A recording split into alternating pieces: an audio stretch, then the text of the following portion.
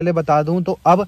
Automatic और जो है मैनुअल बेस वेरिएंट से ही आपको इलेक्ट्रॉनिक स्टेबिलिटी प्रोग्राम ईएसपी मिलेगा और अब इसमें आपको हिल होल्ड भी बेस वेरिएंट से ही हर एक वेरिएंट में ऑटोमेटिक हो मैनुअल हो, ये चीज़ें जो है इसमें मिल रही हैं।